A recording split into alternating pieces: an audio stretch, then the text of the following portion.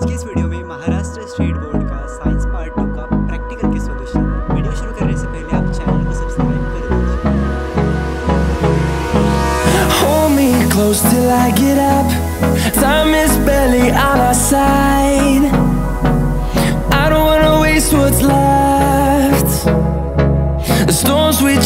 दीजिए